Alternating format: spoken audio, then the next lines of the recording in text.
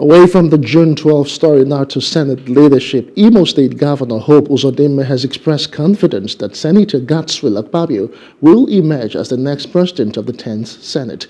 Uzodinma made this known after a meeting with President Bola Tinubu at the presidential villa, Abuja. He said the committee set up by the president to resolve the controversy over the forthcoming leadership race has achieved substantial progress.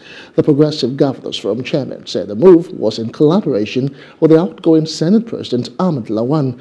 A new set of leadership of the National Assembly will emerge today with the race for the Senate presidency tied among the trio of Akpabio, Abdulaziz Yari and Orji Uzor Kalu. People are entitled to have aspiration. But because we are practicing partisan democracy, it was always it is always assumed that loyalty to the party will always prevail. As it has to do with the Senate President and the Deputy Senate President. The ruling party with more senators in, uh, elect, All Progressive Congress, have preferred and recommended Senator Godswill Akpabio and uh, Senator Barau.